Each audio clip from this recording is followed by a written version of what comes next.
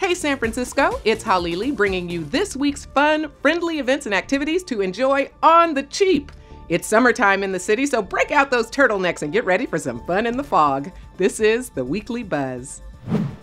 Need to find your happy place? Try a little meditation. Take a break and practice mindfulness and tranquility this Wednesday at noon at the Main Public Library. The 30 minute period begins with the sound of Tibetan bells and meditation instruction. Then words of encouragement are interspersed with periods of silence. This is a secular approach to an old tradition, appropriate for all. This Friday, make your way down to UN Plaza, the liveliest spot in the city, for a night of entertainment, shopping, drinks, and delicious food from 5 to 9.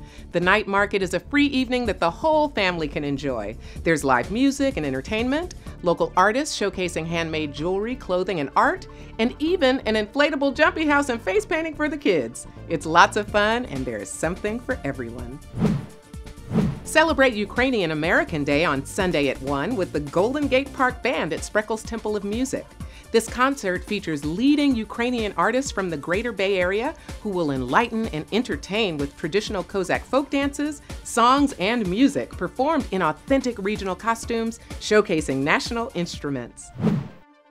And that's the weekly buzz. For information on these events and more, visit us at sfgovtv.org and click on Weekly Buzz. And while you're on the web, check out our YouTube page and scroll through some of our original programs.